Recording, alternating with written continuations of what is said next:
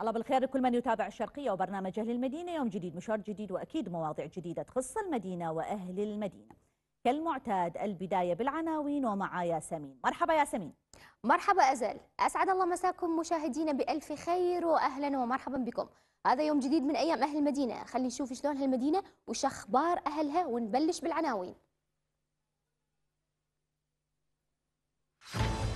الموصليون يستذكرون فاجعة غرق العبارة السياحية.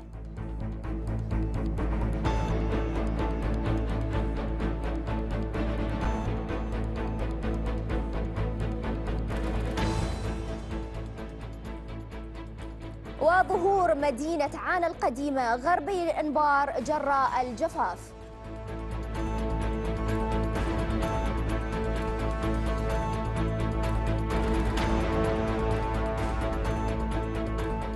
وامتعاض من المواطنين من فرض رسوم على دخول المتحف الوطني. هذه كانت العناوين انتظرونا بعد قليل التفاصيل.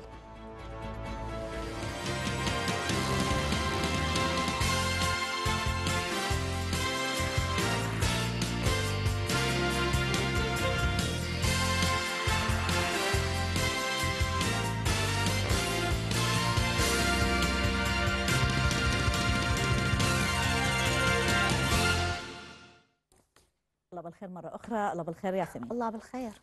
آه، البارحة كان عندنا إحنا كثير من المواضيع. تغطية خاصة كانت أكيد تابعت الموضوع عن عيد الأم وأعياد نوروز.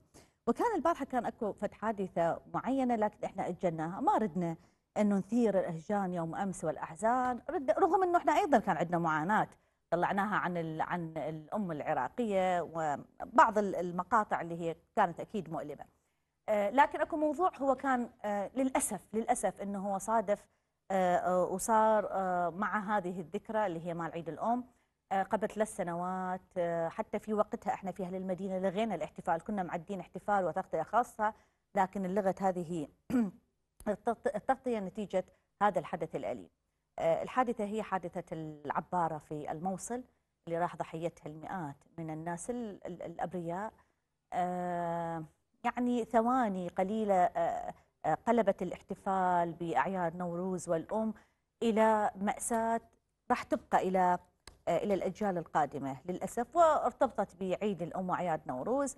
وكل سنة في في ذلك المكان يكون هناك حزن كبير. حتى العام أتذكر إحنا غطينا الموضوع ومع أيضا ال- ال- السنة الأولى أنه الناس تروح هناك تستذكر بالقرب من العبارة أهلها خاصة اللي لحد الآن ما لقوهم. وهي هاي القضية اليوم اللي راح نحكي بيها في بداية حلقتنا مع مراسلنا آه، اللي ذهب إلى هناك إلى مكان الحدث جمال البدراني. آه، معنا عبر السكايب جمال. أهلا بك آه، جمال. آه، حقيقة إحنا ما. كنا نتمنى إنه البارحة محتفلين باعياد نوروز وعيد الأم واحتفالات وجو ربيع لكن هذا واقع حال بالعراق. للأسف عندنا الكثير من المناسبات ممكن تكون السعيدة. يعني إحنا جاي رمضان عندنا في نهاية رمضان الناس تستعد آه، للعيد. إحنا عندنا أكثر من ذكرى أليمة في نهاية رمضان لأكثر من انفجار لأكثر من حادثة. آه، تخلينا ندخل حتى العيد وإحنا منكسرين. لكن إحنا اليوم عندنا أيضا حادثة أليمة هي قضية ال- العبارة. هناك الكثير من الناس ال- آه، يوم أمس استذكروا هذه الحادثة بالمجيء إلى المكان.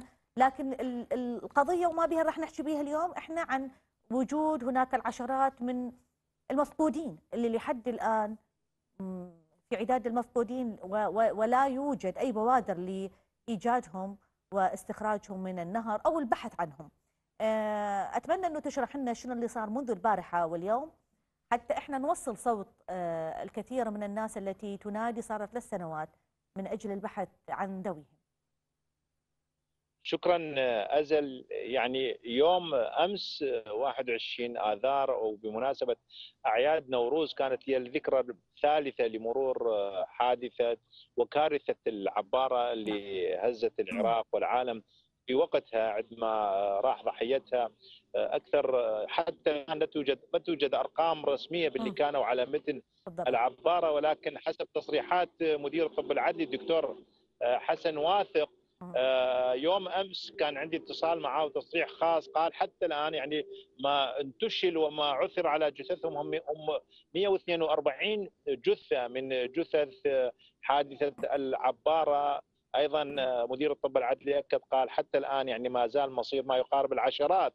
يعني ما عنده أرقام ثابتة قال العشرات ما زال مصيرهم مجهول حتى الآن بعد مضي آه، ثلاث سنوات على تلك الحادثة الأليمة. نعم. آه، أزل في حينها إذا تلاحظين من خلفي هي جزيرة أم الربيعين آه، جزيرة آه، جزيرة السياحية معروفة هي في مم. مدينة الموصل هذه المسافة هذا النهر اللي يفصل بينه وبين الجزيرة هي كان في وقتها بالمناسبة أنا أتواجد في أحد الكازينوات اللي على مقربه وعلى ضفاف نهر دجلة اللي من خلفي تقع هي العباره أو الجزيرة السياحية آه، لسنوات طبعا الناس شوية كان آه، عندها صدمة ورهبة من التواجد في هذا المكان بسبب الحزن والألم اللي آه، ألم به سكان الموصل في حينها. آه، بدات الاوضاع ترجع لطبيعتها. ولكن آه، حقوق العوائل ما عادت من قبل الحكومة إلى طبيعتها مثل ما كانت بالسابق. وإذا أرجع لك شوفي أزل مو ورايا. هذا الضفه مال النهر طبعا هذا مجرى لنهر دجلة.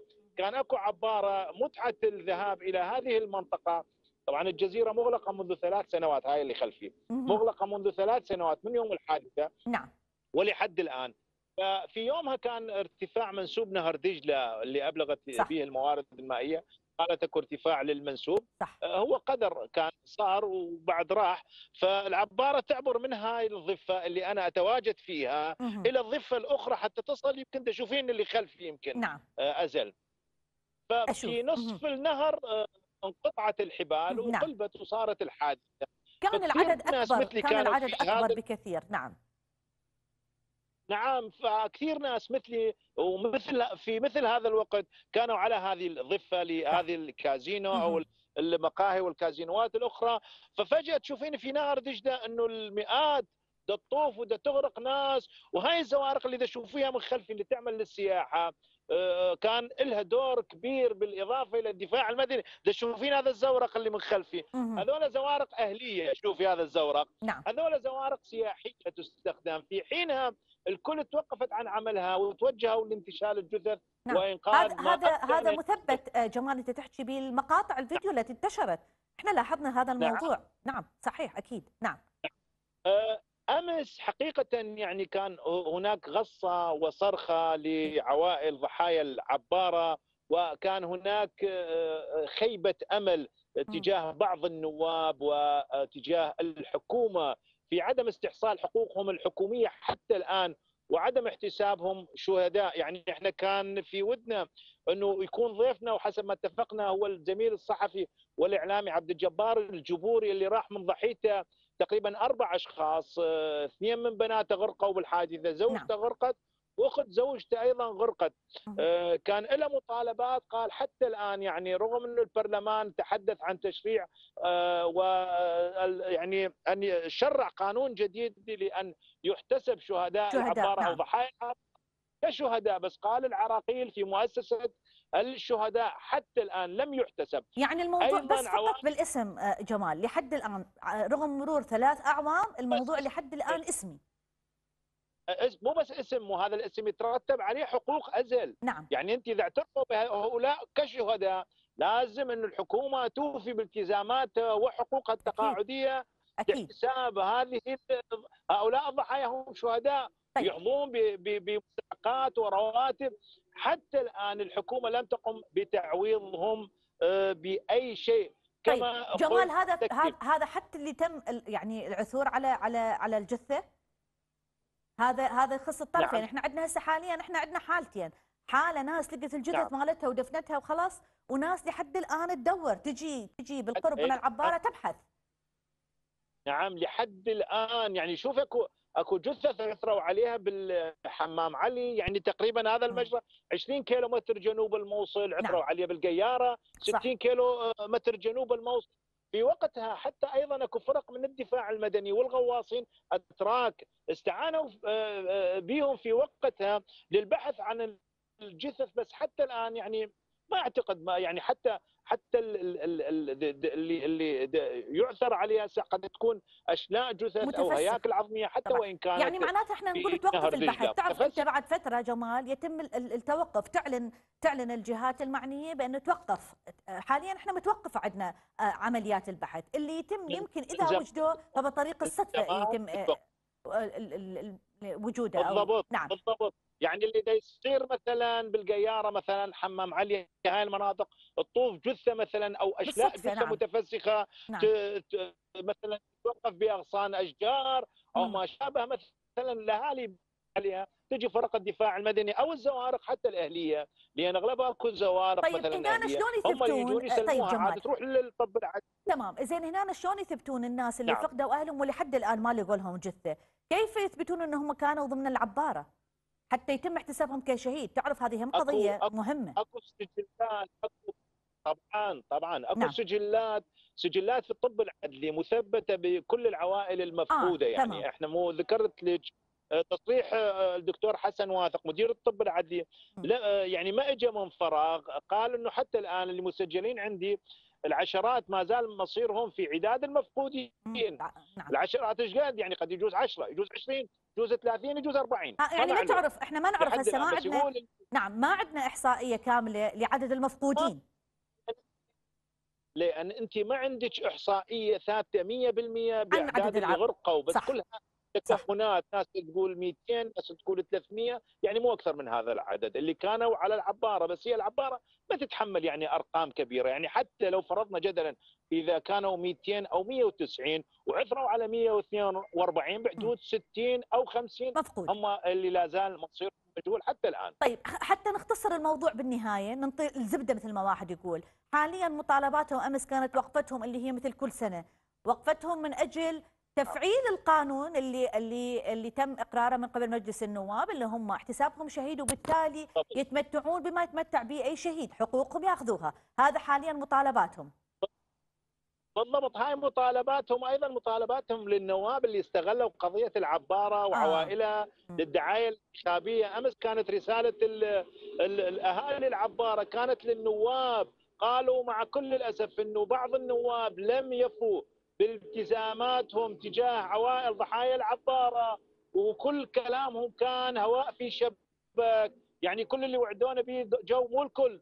دا أتكلم عن البعض جو ضحكوا علينا وتاجروا بقضية حادثة العباره حتى الآن اللي طالبوا في قبة البرلمان وزايدوا باسم ضحايا العباره حتى الآن ما لمسوا أي شيء على أرض الواقع.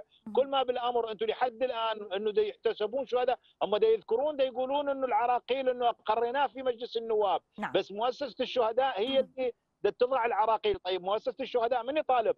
غير صح. ممثلي الشعب صح. هم النواب يروحون يكملون القضية يراجعون. تعال ليش شنو إحنا عوائلنا الضحايا؟ ليش هيك؟ ليش حقوقنا ينوى دائما ليش. هاي الأزمات؟ ليش. دائما هذا التعمد؟ في صح. اقصاء نينوى من كل مواضيع. إحنا نشكرك مراسلنا جمال البدراني كنت هناك للأسف أنا ما أشوف ناس. راح تبقى هناك رائحة الموت للأسف ولذلك كثير من الناس ما تروح مو خوفا ما تروح حزنا والما إلى مثل هكذا مكان يعني كل واحد نفسيا بعد أي مكان بي صار بيه موت وصار بيه فاجعة فاجعة. بم- بمعنى الكلمة هي في يومها صارت فاجعة العبارة. لا يمكن لأي شخص بعد إنه يروح نفسيا ما يقدر يروح. فحرامات إنه مثل هكذا مكان حيوي المفروض إنه هو كل كل انحاء العراق ممكن حتى من خارج العراق ممكن يزوره لكن هناك غصة كبيرة صارت في هذا المكان بعد فاجعة العباره الله يرحم اللي راحوا ومثل ما قلت لكم هو يعني حرامات إنه يكون عندنا إحنا آه، فاجعه مثل هكذا. يعني آه، حادثة المفروض إنه هي ما تصير لكنها صارت آه، ما راح أقول إهمال متعمد لكن إحنا دائما نقول يلا خلاص يعني على الله هذا غلط إحنا لازم كل شيء واحد يحسب له حساب كل شيء هو أشياء هي علمية دقيقة هذه العبارة تتحمل هالقد ما تتحمل زيادة. إحنا أحيانا ننسى مثل موضوع ال- ال- المصاعد. الموجودة في المستشفيات. هالقد بالضبط، صح. تتحمل إحنا نصعد فوق ومن يوقع نقول والله كان ما أنتم تعرفون هذا الموضوع. على العموم إحنا نتمنى إن شاء الله ما ما تعاد مثل هكذا فواجع ونتمنى إنه مجلس النواب والمسؤولين عن هذا الموضوع وهذا الملف يتابعون القضية ويعني يعني يعطون حقوق ال- الشهداء. ويتم البحث عن البقية لأن الناس خطيه تقول لك أنا أدفن الميت أفضل مما أنا أبقى بانتظار آه، البحث صحيح. عنه الله يرحمهم جميعا. ومثل ما قلت لكم هو المفروض كان الموضوع آه، البارحة ناخذه. لكن آه، تم تأجيله لأنه ما ردنا إحنا ننغص عليكم الفرحة و- يعني هي عيد الأم وأعياد نوروز فاجلنا إلى اليوم. الله يرحمهم جميعا. ويا رب من نحكي بيها السنة القادمة لأن هي راح تبقى ذكرى أليمة نحكي بيها إنه تم توفير كل ال كل ال- كل حقوق الشهداء. وإن شاء الله يا رب تكون الناس يعني قد ترتاح على الأقل تقول على الأقل إجالهم في تعويض معين ولو هو ماكو شيء يعوض الأرواح اللي راحت. نعم الله يرحمهم وأكيد راح تبقى هذه غصه بالقلب وما راح تنسي هذه الفاجعة. أكيد. نروح إلى الموصل آه، راح نشوف هالمرة هذا يعني نقدر نقول خبر مفرح. هو مفرح ومقلق. صراحة إحنا ما تعلمنا على الانفراجات فجأة وبدون مقدمات. اليوم أهالي الموصل يتساءلون لانفراج أزمة الوقود خصوصا لأول مرة منذ أشهر طويلة. واختفاء الطوابير السيارات اللي تريد دائما تتزود بالوقود بظرف ساعات. طيب شلون؟ وين راحت هذه الطوابير؟ وين راحت هذه الأزمة؟ ويتمنون أنه ما تتكرر هذه الأزمة اللي ما حد يعرف لحد الآن شنو أسبابها. لأن بصراحة بلشت تتأثر على مفاصل حياة. خلينا نشوف هذه التقارير وشنو يقولون أهالي الموصل حول انفراج أزمة الوقود. إحنا نطول ثلاث ساعات تقريبا على ما يجينا السرى آه، هسه ال- الوقت الحالي داعي ماشيين على بطاقة السكن والقسيمة وماشي البنزين مثل ما يعني نتمنى المواطن وهذا الشيء نتشكرهم عليه. وأنا مع العلم إنه رقم سيارتي بس ماشيين على بطاقة السكن والقسيمة التموينية. يعني الحمد لله ماكو اي ازمه سطر بين البنزيخانه مباشر بدون أي سرعه وإن شاء الله تدوم هيك تظل ماكو سرعه ودائما مفول والله أنا هسه فتحت عندي. خانه ما طول حددت خمس دقائق. الجيش واقف بالباب على بطاقة السكن. يفوت عادي. ورقم من اين راسا يفوت بدون بطاقة السكن. بس اللي عنده سيارات شمال. على بطاقة السكن. بطاقة السكن إذا نينوى يفوت يفول. على البوز راسا يطلع. قبل كم يوم كانت أزمة. ماكو بنزين. يصير يوصل للمنصة. تقف لك أربع خمس ساعات. يلا تفول لك 40 لتر. والله جيت هسه على الله وكيل دورت من الاستداره وما استفدت لي الهوز الله شاهد. لا أزمة شيء. فضلت الأزمة إن شاء الله.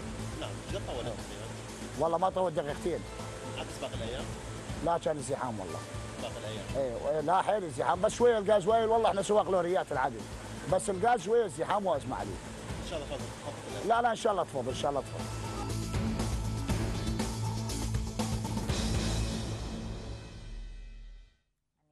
ما شاء الله من يروح مسؤول بسرعة تنحل حتى ما يتشتوا قبل. يعني وحقها حقهم المواطنين من يتساءلون آه إنه أزمة تمتد لأشهر وفقط زيارة. طبعا يعني حتى في بعض البلدان مو بس بالعراق حتى لا نظلم العراق. هي أزمة وإحنا دائما ننطلحل يعني بالإعلام بس هم من يجي المسؤول ما أعرف إن أنا يفتر عندهم العقل يشتغل هنا يشغلون هالدقمة للعقل. آه، حرامات إحنا نكون هالشكل يعني. المفروض إنه إحنا نحل الأزمة من أجل المواطن ومن أجل الشعب ومن أجل الوطن.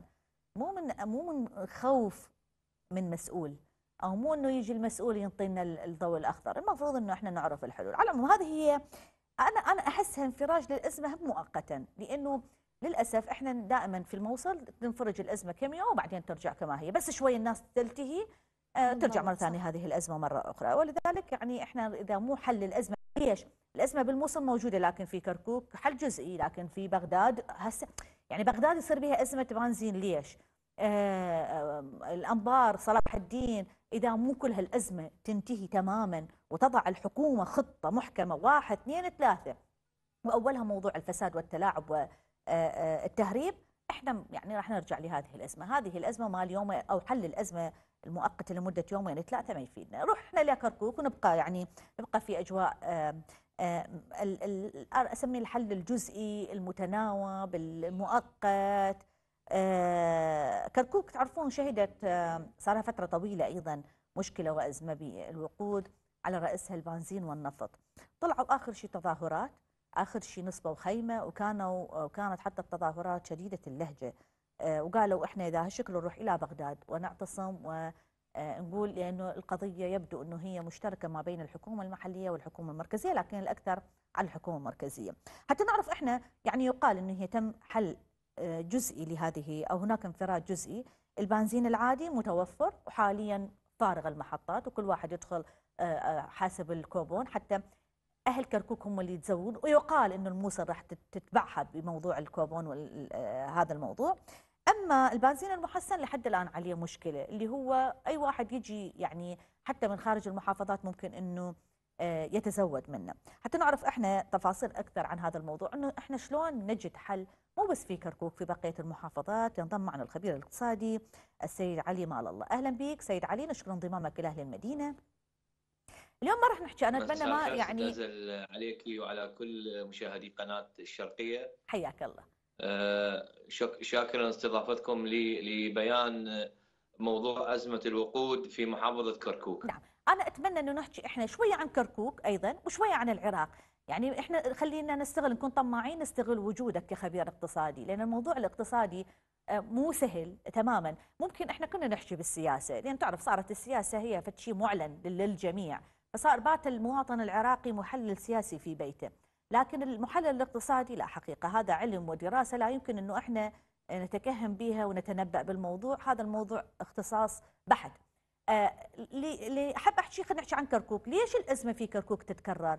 ال ال ال ال المشكلة الرئيسية وين؟ وهل حلها صعب ومعقد بحيث إنه الجهات المعنية عاجزة عن حلها في الوقت الراهن؟ شنو اللي محتاجينه حتى يتم حل هذه المشكلة من كركوك بحيث بحيث إحنا نحس إنه كركوك هاي اللي تمر عليها آلاف السيارات باليوم مو من كركوك وإنما من خارج كركوك آه، تتزود بالبنزين بشكل طبيعي وما نشوف مثل هكذا اختناقات أمام أو طوابير أمام آه، محطات الوقود ست أزل يعني مثل ما بينتي بأن محافظة كركوك محافظة مهمة لأنها تقع على طريق ترانزيت بين المحافظات محافظات الإقليم نعم. وكذلك باتجاه. باتجاه العاصمة بغداد ومنها إلى محافظات إلى محافظات الجنوب. نعم. أنا سأتحدث لك بالأرقام عما شهدته محافظة كركوك خلال هذه الفترة الماضية خلال ثلاثة أسابيع. وقبلها آه، ها طبعا هي أزمة المشتقات موجودة في محافظة كركوك ودائرة المنتوجات النفطية في وزارة النفط منذ أربع سنوات تطبق م- البطاقة الوقودية. نعم. كركوك آه، لكونها محاددة لمحافظات إقليم كردستان آه، يعني ارتفاع الطلب آه، على ارتفاع أسعار النفط عالميا وصوله إلى ما يقارب آه، 114 دولار للبرميل الواحد ألقى بظلاله على ارتفاع أسعار المحروقات. زين. طبعا بشكل عام هذا ارتفاع السعر في السوق العالمية أثرت على ارتفاع أسعار الب- البنزين المحسن والسوبر في محافظات إقليم حيث وصل سعر السوبر إلى 1400 دينار للتر الواحد. وسعر البنزين للتر الواحد. في الإقليم حاليا التجار يباع بما يقارب 1100 دينار عراقي. طيب. آه، في محافظة كركوك أثرت الأزمة يعني صارت عندنا تقريبا ثلاثة أسابيع الطوابير كانت تقف المواطن يقف لساعات للتزود ب 40 لتر تجهز عبر البطاقة الوقودية من قبل المحطات الحكومية. طيب. يضاف إليها ثلاث محطات كانت تجهز البنزين المحسن بواقع 40 كذلك لسعر اللتر للعادي 450 دينار و650 بالنسبة للبنزين المحسن. طيب مثل طيب. ما تطرقت في بداية كلامك بان بأن تقريبا ما يقارب أربع خمسة أيام آه، شهدت كركوك لأول مرة اعتصامات أمام أحد المحطات التعبئة الوقود في منطقة طريق بغداد وسط المدينة اعتراضا من المواطنين على الإجراءات التي اتخذت. من خلال استخدام البطاقة الوقودية. للتزود بالبنزين. طبعا هذا الإجراء لجأت إليه دائرة المنتوجات للحد من عدم تزود يعني ال- ال- مهم. طيب ال- أستاذ علي. ال- ال- الذين يمرون أستاذ في علي إحنا بعيدا عن كلام الإعلام هذا اللي. يتداول به آه، الإعلام والوسائل الإعلامية. إحنا نريد نعرف الأسباب الحقيقية لأزمة هذه الوقود. ليش تصير هذه الأزمة؟ الأزمة الرئيسية الأزمة السبب إنه محافظة كركوك لا تمتلك مصفات لإنتاج البنزين، يعني محافظة كركوك اعتمادها يتم تجهيزها بمليون و350 من محافظات من مصافي بغداد ومن مصافي بيجي وكذلك من مصافي الموجودة في أربيل وفي السليمانية، طبعا هذه عقود وقعتها وزارة النفط بشراكة مع القطاع الخاص لتجهيز محافظة كركوك بالمنتوج. الحل لهذا هي المعضلة أن يكون في محافظة كركوك مصفات خاصة لإنتاج البنزين، هذه المصفات سيكون لها دور للقضاء على آه، نهائيا على أزمة البنزين في محافظة يعني هل. هذا طبعا صعب؟ مشكورا سي سي سيد علي هل هذا صعب معقد الموضوع؟ زار محافظة كركوك طيب. قبل ثلاثة أيام نعم وكان زيارته طبعا معالجات سريعة بأنه قام بزيادة حصة سيارات التاكسي من 80 لتر إلى 120 لتر. وإلغاء الإجراءات التي كانت مفروضة على تجهيز البنزين المحسن طيب. يعني كان متبع النظام الفردي والزوجي طيب. مقابل تجهيز آه، أصحاب المركبات. الآن التجهيز لبنزين المحسن ثلاث محطات تعمل. يضاف لها بأن المنتوج البنزين للسيارات الأجرة زادها من 80 لتر إلى 120 لتر. ممتاز. كذلك إذا لأول اكو مرة في محافظة كركوك خمس محطات تعمل على مدار 24 ساعة وهذا الإجراء ساهم بشكل كبير بأنه أنهى أزمة البنزين على المحطات طيب. التي تعمل طيب نرجع على موضوع اللي سيد, سيد علي سيد عدد من عندها 22 محطة طيب. حكومية. أنا أيضا أعتبر لا أنا تسمحي لي. سيد علي بس اسمح لي أيضا. يعني أنا أعتبر هذه okay طيب ه- هذه إصلاحات لكن أيضا هذه الإصلاحات تعتبر وقتية. إحنا أيضا عندنا في أيام الذروة راح تكون عندنا أيام الأعياد والمناسبات راح يكون هناك عندنا أيضا راح نرجع مرة ثانية لهذه الأزمة. من الممكن إنه باكر يصير فد شيء هم ترجع هذه الأزمة. موضوع المصفاة مهم. هل هو معقد؟ صعب. صعب إنه ناسس لنا إحنا ونسوي مصفات في كركوك لو, لو معقد الموضوع. ست ازل يعني طبعا شوف أنت فتحتي موضوع مصفات طبعا مصفات كركوك أنا ما فتحت أنت فتحت سيد سيد علي. نعم. نعم إي نعم. اي مصفات يعني كركوك. نعم. اي صح تمام أنا دا اتحدث لك عن. هذا مصفات كركوك آه، طبعا طرح بنفس آه، السنة اللي طرح به مصفات كربلاء، مصفات كربلاء النفطية تقريبا شارفت على الانتهاء ولا زالت مصفات كركوك حبر على ورق، أها. يعني منذ ما يقارب من إيش قد 12 سنة كم سنه كم سنة؟ كم سنة سيد سيد علي؟ كم سنة تحتاج؟ هذا لم ينفذ هذا المشروع. تمام. كم سنة نحتاج؟ يعني كربلاء يمتى بدوا المشروع يحتاج لما يحتاج ل... لو تم تجهيزه لو تم إحالة المشروع إلى إحدى الشركات الرصينة الأجنبية خلال ثلاث سنوات لن تشهد محافظة كركوك ولا صلاح الدين ولا نينوى ولا حتى. يمكن تجهيز حتى مدن الإقليم طبعا أ- أنقل هذه المعلومة من خلالكم أنه مدير عام مدير عام دائرة المنتوجات قال بأنه المنتوجات تجهز إقليم كردستان بمليون لتر بنزين يوميا مم. يعني هذا دعم من ال- من وزارة النفط للإقليم للحد من آه، ارتفاع الأسعار الذي هو موجود حاليا في إقليم كردستان، يعني مم. المواصفات لا يعني مو فد فد معضلة بانه أنت تنجز مشروع استثماري يساهم في تشغيل آلاف الأيدي المعضلة العامله وين؟ في سيد؟ محافظه كركوك. سيد علي المعضلة بالنوايا بحب هذا الوطن بخدمة هذا الوطن بالتفكير لمصلحة هذا الوطن. هذا الموضوع ما أعتقد يخدمهم فلذلك يعني آه، الروتين القاتل والروتين ما طلع هذا الروتين هذا اللي إحنا كل الرئيسي. ما حكينا الروتين هو شراد للروتين. ليش ليش ب... ليش بعض يعني الأمور ليش بعض الأمور هم من يردوها يسووها بنفس اليوم كن فيكون؟ ليش من إحنا نريد قضية تحل تحل تحل معضلة كبيرة ومعقدة مثل موضوع البنزين والوقود يسوونها روتين. ليش الروتين على ناس وناس؟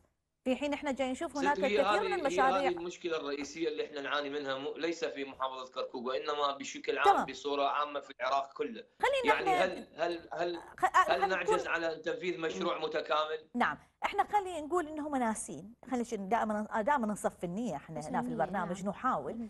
آه، آه، ناسين ما جاية ببالهم. تعرف هنا كثير من الناس مو أصحاب اختصاص فيكون ما ما يدرون بالموضوع.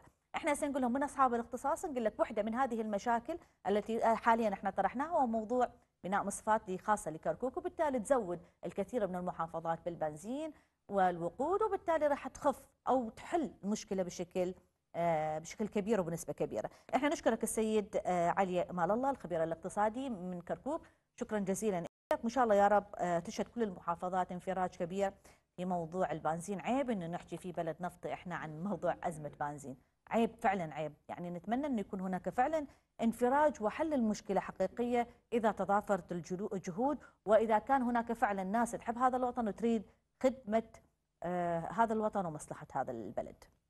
نعم نحتاج إحنا التفاته جاده من الجهات المسؤولة حتى تحل هذا الإشكال اللي صار يعني آه، عبء على المواطن وبنفس الوقت يعاني منه المواطن. طبعا إحنا دائما من خلال برنامج أهل المدينة ننقل كل ال- ال- المطا- ال- ال- المطالب والشكاوي اللي يعاني منها المواطن والأهالي أكيد. راح نشوف مطالب لأهالي صلاح الدين إلى وزارة النفط يطالبون بزيادة حصة الغاز المجهز للمولدات الأهلية لأن حصص الغاز غير كافية بالتالي ساعات الانقطاع راح تكون جدا كثيرة يعني لو تجهزون كهرباء عبر الشبكة الوطنية لو تزيدون من تجهيز حصص الغاز حتى أكيد يتم تخفيض أسعار المولدات. خلينا نشوف هذا الفيديو ونرجع. لا غير كافي. سبب يعني كثرة انقطاع الكهرباء الوطنية. إيه، يخلي أبا المولد آه، دائما مشتغل وبعدين أبا المولد آه، أهلي. وتعرف أنت منين يجيب يعني هم الرجال يريد تجهيز آه، مادة الغاز حتى يكفي المواطن وهذا الشيء قليل بالنسبة للمولدات الأهلية والله التيار الكهربائي مو زين حقيقة وأصحاب المولدات دا يعانون ماكو اسمه مادة الغاز وهيجي حال إحنا هسه مقبلين على الصيف وين راح يروح المواطن؟ بس قول لي وين راح يروح؟ يعني وال- وال أبو المولد من يجيب غاز؟ غاز ماكو بالسوق والله الوضع الكهربائي في محافظة الدين متردي إلى أبعد الحدود. يعني إحنا هسه في أجواء باردة المفروض التيار الكهربائي مستمر خصوصا هناك ال ال الأحمال قليلة. يعني المفروض الكهرباء متوفرة على مدى مدى ساعة. آه، بس نلاحظ يعني انقطاعات ويعني و- بالنسبة لأصحاب المولدات يعني نروح نحاججهم عن مود التشغيل يقول لي مثلا نسبة ال- الغاز عندي يعني قليلة ما تكفي حتى أشغل لك ال- ال- المطلوب. لهذا يعني الناشد بأنه يعني أما توفرون لنا غاز للمولدات حتى في سبيل يعوضون الانقطاع المستمر. ضروري نحكي بهذا الموضوع حتى قبل شهر رمضان مو بس في صلاح الدين وإنما في بقية المحافظات العراقية. تعرفون راح يصير الموضوع أكو مولدات كثيرة تشتغل بساعات معينة وتطفى باقي ال- الوقت خاصة مثلا بالليل بعد أيام راح يجي لنا سحور وفطور أنا أتمنى إنه يصير آه، موضوع إنساني يعني موضوع السحور والفطور ترى ما حلو الناس تقعد على ظلمة فأتمنى إن يكون هناك تعاون في هذا. الشهر الفضيل ما بين أصحاب المولدات والناس، الناس أيضا يعني الناس أيضا تتعاون مع أصحاب المولدات. كثير من الناس تعتبر أبو المولده ند وعدو، في حين هو ترى أيضا عليه يعني حصة غاز مو دفاعا عنهم لكن هذا واقع حال. حصة الغاز هناك ضريبة كبيرة وإحنا ياما طلعنا في أهل المدينة هناك اعتراضات من قبل أصحاب المولدات هم هم عليهم عبء كبير. ويبقى الهرم الأكبر هو الحكومة المحلية الحكومات المحلية عليها هي أنه تنطي غاز على الأقل بهذا الشهر توفر يعني بما يكفي آه، لرمضان. إحنا هذه أوقات هذا هو شهر تحملوا الناس حاولوا توفروا لهم الغاز هاي الحكومة المركزية نحكي بيها توزعوا للحكومات المحلية الحكومات المحلية توزع لأصحاب المولدات وأصحاب المولدات هلا هلا بالناس. ويا مواطنهم هلا هلا بأصحاب المولدات. إحنا خلونا نعبر هذا الشهر آه، بخير وسلام. وهذا هو شهر فضيل شهر آه، محبة وتعاون وخير وأنا متأكدة هناك الكثير من أصحاب المولدات راح تخفض أسعار حتى الإمبيارات لكن على الحكومة المحلية توفير الغاز اللي معضلة إحنا عندنا الوقود. ترى كارثة موضوع الوقود إن نحكي به لحد الآن. تخيلوا كم موضوع إحنا حكينا به اليوم؟ أربع مواضيع. كل ساعة ننتقل من محافظة آه هذا عندها أزمة بنزين هذا. نفط هذا غاز. يعني عيب والله وإحنا في بلد نفطي. والله أحيانا نقول إنه هذا النفط لعنة على البلد. لو ما عندنا نفط إحنا ونستورده هواية أفضل. كان جبنا على قد حالنا وكفانا وماكو هاي الأزمات الكثيرة. دخلنا حروب على مود هالنفط. وتشوفون إحنا حال البلد شلون يتراجع إلى الوراء للأسف. خلينا نغير الموضوع خلينا نروح إلى غير مواضيع. أتمنى إنه موضوع أزمة آه، الوقود تنتهي على خير وبالتالي ما نحكي مثل هكذا أزمات. لأنه عيب إنه عندنا إحنا النفط يجري من تحت أقدامنا وإحنا نشكو من أزمة كبيرة في الوقود، الموضوع اللي راح نحكي به هسه هم إحنا يعني إحنا المف... إحنا بلاد النهرين. راح نحكي إحنا طبعاً. بموضوع جفاف نحكي بأزمة ومع اليوم العالمي للمياه لكن إحنا نعيش أزمة حقيقية والقادم هو راح يكون للأسف اسوء. مثل ما تشوفين العراقيين دائما يخافون من فصل الصيف. والله شنو إحنا نريد الكهرباء تتحسن لأن جاي فصل الصيف. وهسه راح نشوف أيضا أزمة الجفاف. طبعا إحنا صار لنا أشهر نحذر من هذه الأزمة اللي هي أزمة الجفاف ومن مخاطر هذه الأزمة. الأزمة حقيقية وعواقبها كارثية. يعني لازم أكو هناك تحركات جادة لمعالجة هذه الأزمة. اليوم إحنا مثل ما تعرفون بشهر آذار والجفاف واضح من خلال انخفاض مناسيب المياه. وهذا الشيء راح يسوي لنا مشكلة إحنا بغنى عنها. وهذه المشكلة بدأت تظهر منذ آه تقريبا آه يعني إلى من آه أربعة أشهر إلى خمسة أشهر هذه اللي إحنا نشوفها. أما هي مستمرة من سنوات وشنو اللي صار؟ ماكو أي أي شيء صاروا التحركات آه من الجهات الحكومية ماكو أي شيء سووه أو قدموه. عدم الاستهلاك المنظم للمياه من قبل المواطن راح يسبب لنا أيضا مشكلة وإحنا لازم نكون نحافظ على هذه الثروة وتعاون يكون هناك بين الدولة والمواطن لأن الدولة يجب أن تخطط والمواطن يجب أن يشعر بالمسؤولية لحماية هذه الثروة. يعني الموضوع هام جدا يعني الجفاف إذا صار راح يكون كلنا إحنا بخطر. وأخطر من الحرب أنا برأيي يكون أخطر من الحرب. اليوم عندنا تقرير من الأنبار راح نشوف هذه المدينة. طبعا مدينة كاملة اسمها عانه القديمة. ظهرت بين ليلة وضحاها. يعني فجأة ظهرت طبعا هذه مو مزحه هذه حقيقية مدينة غرب الأنبار. ظهرت بعد انحسار مياه نهر الفرات وهذا انذار بحلول كارثة. خلينا نشوف هذا التقرير ونرجع نعلق عن هذا الموضوع الخطير.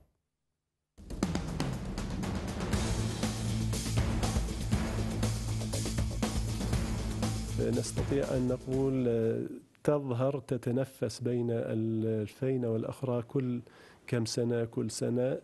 مع زيادة ونقصان منسوب النهر. حقيقة يعني نحن نعاني في مدينة عانة الجديدة من هذه المسألة وهي زيادة ونقصان منسوب النهر الذي يؤثر سلبا على الماء أولا حيث أن مشاريع الماء يعانون الكوادرنا في دوائر الماء من نقل المضخات وسحب المضخات خلال هذه الفترة خلال الزيادة وخلال النقصان. نعاني من أزمة يعني شديدة جدا يعني وكبيرة يعني يعني يعني قاعد تأثر علينا بشكل مو طبيعي. وهاي سببها الرئيسي إنه قلة الوارد أقل من الحصة المقررة يعني نقدر نقول بحدود ال 40% يلا قاعد يوصلنا مي. بالمقابل يعني السد قاعد يصرف مي أكثر من المي الوارد. يعني حتى أبسط شيء منسوب السد المفروض يكون 147 متر فوق مستوى سطح البحر. حاليا المستوى مالته وصل ل 134 متر. أثرت بشكل كبير. يعني إحنا المفروض نقدر نقول تجينا باليوم يعني المنسوب كمية المي بالحدود ال 500 متر مكعب بالثانية. قاعد تجينا 200 متر مكعب بالثانية مثلا. إيش قد ارتفاع المدينة القديمة؟ المدينة القديمة كانت على 125 متر فوق سطح البحر. هسه إحنا 136 فهسه نص عانه طلعت يعني. والمشكلة الأكثر إنه الانخفاض مستمر يعني. فالمي قاعد ينسحب يعني. حتى الفلاح المزارع أو إحنا مشاريعنا من ناس بها على المي على البحيرة من ينسحب المي من عندك يبعد كيلو متر هم راح تتوقف مشاريعنا. أه نحن كشعبة زراعية في قضاء عانه نعاني معاناة شديدة من شحة المياه الموجودة اللي حادثة الآن في المنطقة. إذ تعذر يتعذر ان ننفذ الخطة الشتوية أو الصيفية في المنطقة بسبب شحة المياه. يعني نناشد المعنيين بال يعني الجانب المائي انه يعني شلون يدبرون الأمر لأن صعوبة انه ننفذ الخطة الشتوية أو الصيفية. أما اليوم نفاجئ وأن مجرى نهر الفرات ينحسر ثانية بأسباب لا علم لنا بها. نجد أن أهلنا في الجنوب وقد يستغيثون من العطش تستغيث زروعهم وتستغيث بواشيهم قبل الإنسان. أجل نحن معنيون بهذا الأمر ونطلب من الجهات المسؤولة سواء الحكومة المحلية أو المركزية وحتى جامعة الدول العربية أن تتدخل في موضوع نهر الفرات.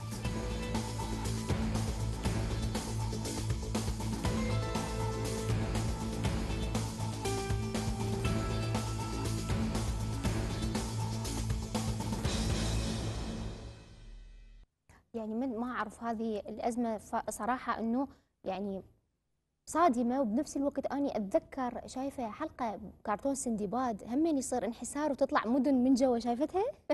إيه تذكرت نفس الشيء كأنما إحنا عايشين بالخيال إنه من وراء انحسار المياه تظهر مدن إحنا ما شايفيها صار لنا 40 سنة الكارثيه هذه يعني يحتاج لنا بالفعل التفاتة جادة من الجهات المسؤولة لأن حرامات هذا نهر الفرات شيء يعني ما يتعوض.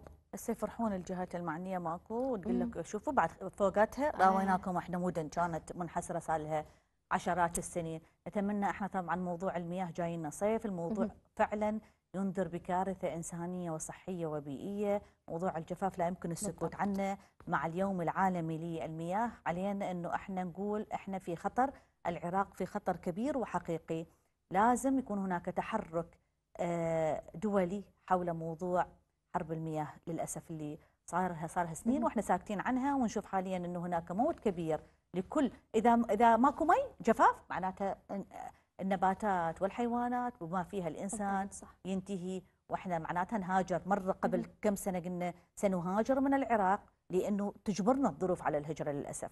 بقية المواضيع نكملها إن شاء الله باكر هذا كل ما كان عندنا اليوم في أهل المدينة اتمنى دائما نلتقي على الخير والمحبة والسلام وعلى وطن سالم ومعافى ومنتصر في أمان الله. شكرا لطيب المتابعة وإلى اللقاء.